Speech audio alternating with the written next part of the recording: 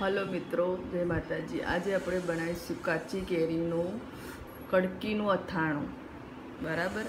જે દેશી કેરી હોય છે ને, એનું બને છે. તેને છોડા કાઢી નાખવાના. એનો ગોટલાનો ભાગ લેવાનો નહીં અને એની કટકી કરી દેવાની હવે આ કટકીમાં આપણે મસાલા કરીશું.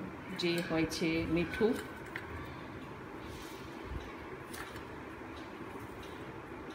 અને હળદર. એને મિક્સ કરી દેવાનું. અને બાર કલાક માટે એને ગરમ જગ્યામાં ઢાંકીને મૂકી દેવાનું. પછી તેને આપણે કટકીનું અથાણું બનાવશું. બાર કલાક પછી આપણે જોઈશું કે કટકીનું કેવી થઈ છે. કટકીમાંથી પાણી છૂટું પડી ગયું છે. હવે એને ધીમે ધીમે બધી કટકી કાઢીને કોટન કપડામાં સૂકવી દેવાની. અને પંખા નીચે નહીં મૂકવાનું. પૂરા થાય પછી આપણે મસાલો કરીશું આનો. જો આપણી કડકી હવે સુકાઈ ગઈ છે. હવે આપણે એના પર મસાલો કરીશું. લીધું છે ગોળ. ગોળની અંદર લેશું અચાર મસાલો.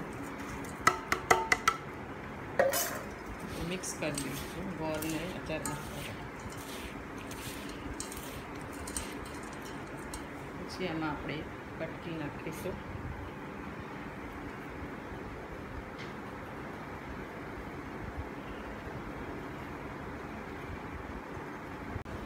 બધી કટકીને મસાલામાં મિક્સ કરી દેવાની. ચાર મસાલો ને ગોળ.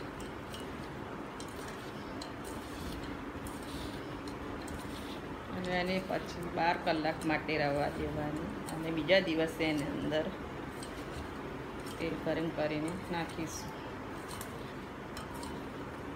તેલ પછી, દિવસ પછી નાખશો તો જે કટકી હશે એ ચવળ નહીં થાય.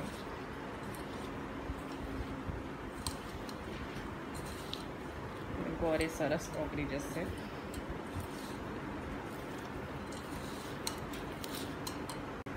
આ મિક્સ થઈ ગયું છે. હવે અને બાર કલાક માટે ઢાંકીને ગરમ જગ્યા પર મૂકી દેવાનું. અને એને પછી બીજા દિવસે તેલ નાખીશું આપણે એ તમને બતાવીશ. બાર કલાક થઈ ગયા છે, હવે આપણે ચેક કરીશું કે આપણા અથાણું કેવું થયું છે. જો, ગોળ ઓગળી ગયો છે. હવે એક, હવે ગેસ ઉપર આપણે તેલ ગરમ કરવા મૂકીશું. તેલ ગરમ થાય એટલે તેમાં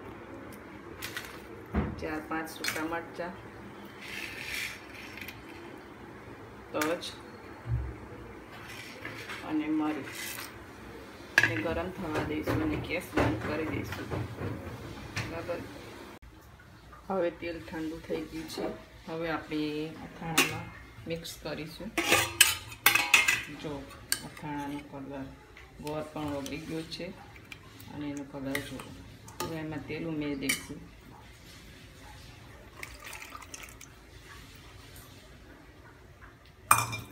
અને સારી રીતે મિક્સ કરી દઈશું.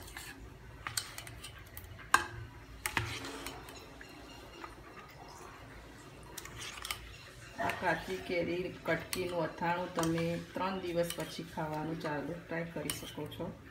અને સરસ ખાટું મીઠું લાગે છે. એકવાર જલ્દથી તમે ટ્રાય કરજો. બહુ સરસ બને છે કટકીનું અથાણું. નોર્મલી લોકો રાજાપુરી કેરીનું અથાણું બનાવે છે. જે છોડાવાળું હોય છે. આ કટકીનું છે, છોડા કાઢીને બનાવવામાં આવે છે. જેથી કેરીના કટકી જલ્દી ઓગળી જાય છે. એટલે ત્રણ દિવસમાં તમે એને ખાવાનું ચાલુ કરી શકો છો. બસ હવે આને આપણે એક બરણીમાં ભરી દઈશું અને ફ્રાય કરવાનું ચાલુ કરી દઈશું. તમે પણ બનાવજો. અને પછી મને કોમેન્ટમાં લખજો કે કેવું બન્યું. સરસ લાગે છે. એકવાર જરૂરથી ટ્રાય કરજો. અને મારી ચેનલને લાઈક સબસ્ક્રાઈબ અને શેર જરૂરથી કરજો. તમારો સપોર્ટની જરૂર છે, મિત્રો.